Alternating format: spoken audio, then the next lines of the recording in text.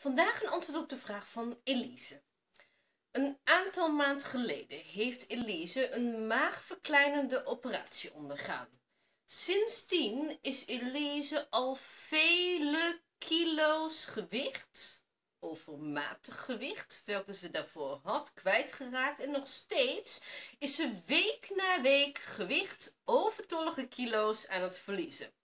Ze dacht, ze vermoeden dat het verlies van deze overtollige kilo's, uh, overtollige kilo's van weefsel, wat niet uh, gezond weefsel is, wat in de weg zit, ontstekingsgevoelig weefsel is, dat dat haar um, gezonder zou doen voelen. Het verlies van deze kilo's. Alleen al het feit dat je dan minder massa met je mee moet dragen.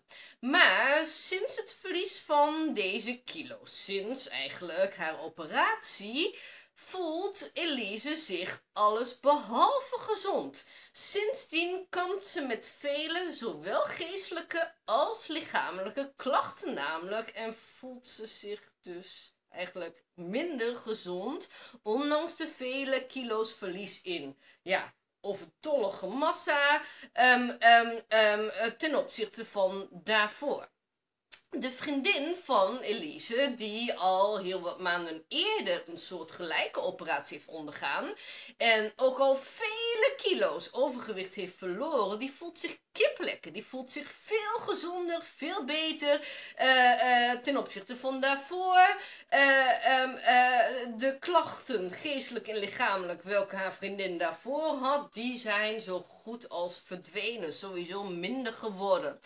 Dus de vraag van Elise is, hoe kan het? Hoe kan het dat ik, ondanks het verlies van zoveel massa, iets wat ik met me meedroeg, wat alleen maar in de weg zit, wat geen gezonde massa is, toch zoveel slechter voel ten opzichte van daarvoor?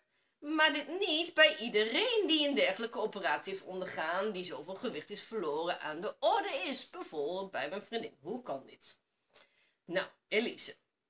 Um, je goed voelen is afhankelijk van um, hoe de processen, zowel geestelijke als lichamelijke processen, dus processen in het centrale deel van jouw lijf, maar ook het perifere deel van jouw lijf, hoe die verlopen.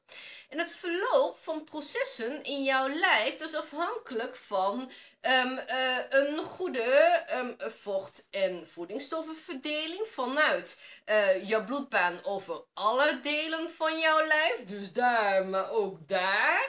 En het goed aansturen en elkaar afstemmen van al die processen, geestelijke en lichamelijke processen in jouw lijf.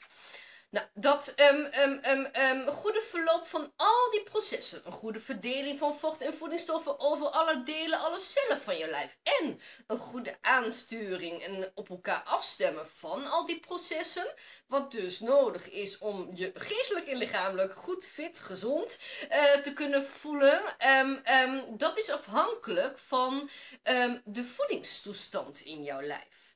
En de voedingstoestand in jouw lijf is enkel goed te noemen wanneer jouw lichaam in staat is, met behulp van signaalstoffen zoals hormonen en neurotransmitters, een ideale bloedsamenstelling, welke een evenwicht genaamd homeostase garandeert in jouw lijf te bewaken.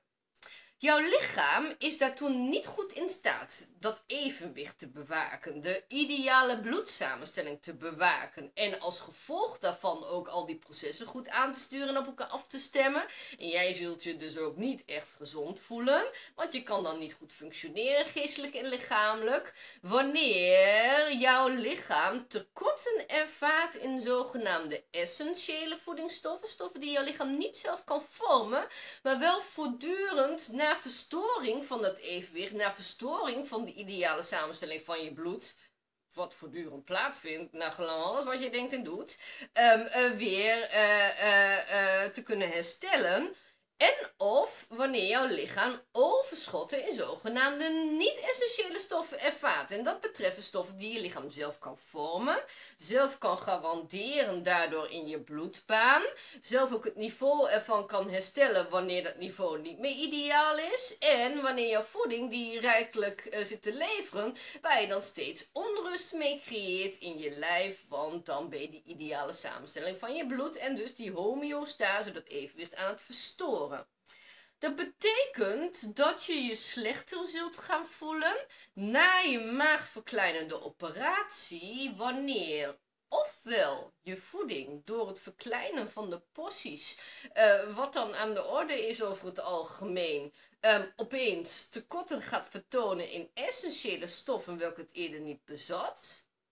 En dan uiteindelijk, naar verhouding, uh, uh, te veel overschotten veroorzaakt in niet-essentiële stoffen. Want elke hapvoeding die je dan binnenkrijgt die niet-essentiële stoffen bezit, die stoffen die je lichaam al wel aanwezig heeft in jouw lijf en bloedbaan, is dan een verstoring van dat evenwicht. Wanneer dat sindsdien aan de orde is, dan zou dat evenwicht verstoord raken, kan je lichaam dat niet herstellen, zal de voedingstoestand verslechteren, de ideale bloedsamenstelling kan dan niet behouden blijven en zul je geestelijk en lichamelijk niet veel gezonder gaan voelen. Ondanks het feit dat jij door het verkleinen van je porties wel gewicht verliest. Um, Um, um, maar ook wanneer jouw voeding die verkleinde porties wel optimaal zouden voorzien in die essentiële stoffen, maar door de operatie bijvoorbeeld schade is ontstaan uh, uh, aan het weefsel achter het resorptiedeel van jouw darmen, ja, dan kunnen die essentiële stoffen wellicht helemaal niet zo goed opgenomen worden in je lijf. Ja, dan zal je lichaam er nog tekorten aan gaan ervaren en belanden ze wellicht in je toiletpot.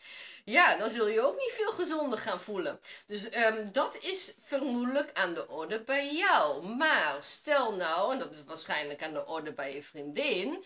Je vriendin had kennelijk van tevoren, want toen had ze heel wat klachten. Een eetpatroon die niet echt leuke, goede verhoudingen had tussen essentiële stoffen en niet-essentiële stoffen. Waardoor ze zich toen niet bepaald gezond voelde. Haar, door haar maagverkleinde operatie is haar voeding gaan aanpassen. En kennelijk, want zij voelt zich veel gezonder sindsdien, functioneert geestelijk en lichamelijk veel beter, met veel minder klachten. Um, vermoedelijk is haar eetpatroon sindsdien veel betere verhoudingen gaan vertonen tussen essentiële en niet-essentiële stoffen. En het vermoeden is ook dat dit allemaal goed verteerd en opgenomen kon worden in haar lijf. Dus dat er weinig schade was aan haar, uh, het weefsel achter haar darmen bij het resorptiedeel. Um, dus dat kan maken dat de een, zoals jouw vriendin, zich veel beter voelt na een operatie, omdat de voedingstoestand in het lijf dan kennelijk is verbeterd. En daar hangt het goed voelen en goed functioneren, geestelijk en lichamelijk dus van af. Maar kan dus ook gaan maken dat je je slechter gaat voelen wanneer door de beperking in je voeding of de schade die is ontstaan door het, uh, de operatie en de littekenweefsel wat daaruit ontstaat, um, opeens de voedingstoestand in jouw lijf slechter is geworden ten opzichte van daarvoor. In je voeding bijvoorbeeld flinke tekorten, uh, veel meer ten opzichte van eerder gaat vertonen in essentiële stoffen Stoffen die jouw lichaam nodig heeft om een goede voedingstoestand te kunnen bereiken en bewaken, een ideale bloedsamenstelling te kunnen behouden en daarvan is dus het verloop van processen in jouw lijf afhankelijk.